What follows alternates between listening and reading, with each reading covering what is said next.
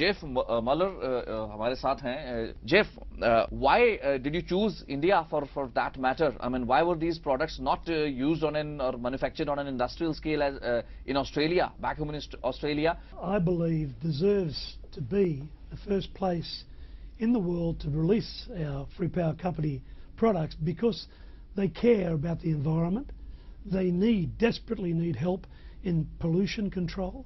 They desperately need uh, employment, and they desperately need a way to, and they actually lead the world in environmental. Um, right now, they've got cars that are running on natural gas.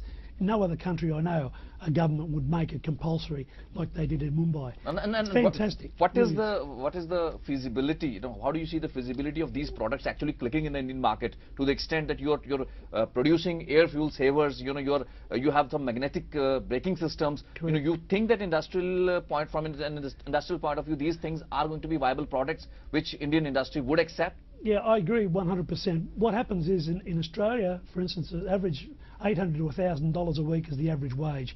There's only 25 million people. Here there's nearly a billion people. Uh, therefore, the wages here are a lot lower. We can put out our beautiful devices very, very cheaply, mm. and we can produce them for the rest of the world from India. Mm. India luckily has the same justice system as Australia. Mm. We don't have to be worried about copying in China. India are honest people, and they do the right thing by Australians, and we, like each we are seeing a few products like we there, there is this portable solar unit which I like some viewers to see. What is it all about? You know, these are the products which are either converting the solar energy or the magnetic energy into the electrical or the mechanical energy, right? Cor- Correct. Yeah. We can turn uh, portable electricity. We can run a, a house that, uh, for instance, in Australia there was 360,000 houses underwater in Brisbane, and they didn't have any electricity, no light, no mobile phone recharging, no television, nothing.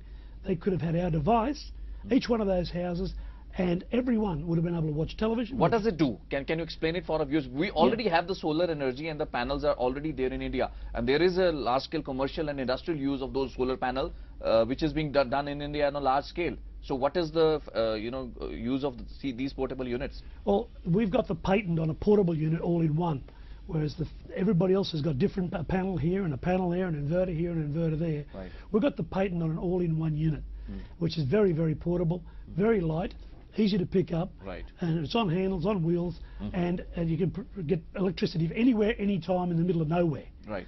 So therefore, you can plug it into the wall, and if you have a blackout, you can put this on and run all everything that you need to run for an emergency situation. That's just one product. Right. Right.